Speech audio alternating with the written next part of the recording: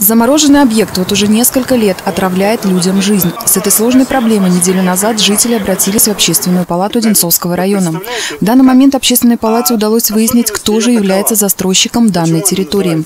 Это региональный инвестпроект. С 2013 года территория объекта заброшена, а с 25 марта текущего года разрешение на строительство аннулировано. Сама организация находится на стадии ликвидации. Как оказалось, проблем в деревне Лохино довольно много. Это пожарный проезд, которого уже несколько лет лишены жители.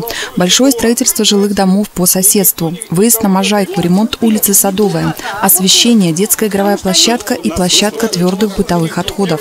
И с детям-то гулять негде. У меня соседка ходит с коляской, с двухлетним мальчиком и с грудным ребенком. И ходит на хутор к лесу гулять, там детская площадка.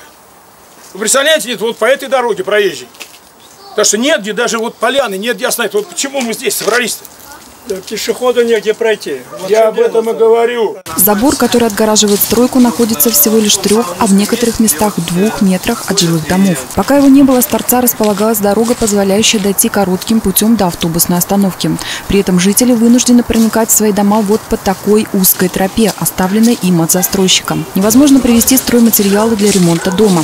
Нет проезда для самих жителей, не говоря уже о скорой и тем более пожарной машине. При плохой погоде узкая тропа полностью размыта. Она она становится скользкой, да и вообще травмоопасной. Как показывает практика, такие объекты притягивают разные категории граждан. Мы по этому вопросу общаемся еще с представителями полиции, чтобы узнать э, криминогенность данного объекта. То есть э, обеспечен ли он охраной, должным образом соблюдаются ли здесь правила и техника безопасности. В любом случае мы будем отстаивать права граждан.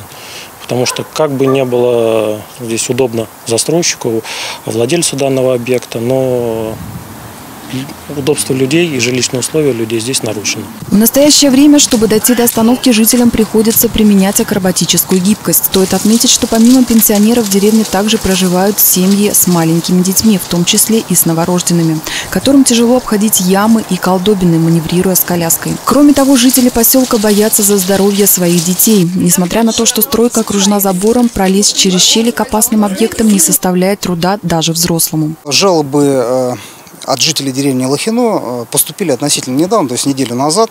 Вот, э, общественная палата Ленцовского муниципального района, как, как правило, оперативно среагировала э, и собирается заниматься вот, их проблемами. И мы все приложим все усилия для того, чтобы данную ситуацию разрешить, помочь как-то жителям решить их проблему. В данный момент общественная палата разбирается с законностью установки ограждения. Даже если оно установлено по всем нормам, здесь нарушены условия проживания граждан. Встреча помогла понять, что у жителей деревни Лохино эта проблема уже просто накипела. И у них осталась надежда только на общественную палату. Члены комиссии, консультанты, эксперты обещали досконально проработать вопрос дальнейшей судьбы объекта и сделать официальное заключение. Мила Тарасевич, Артем Аманусов, телекомпания «Одинцова».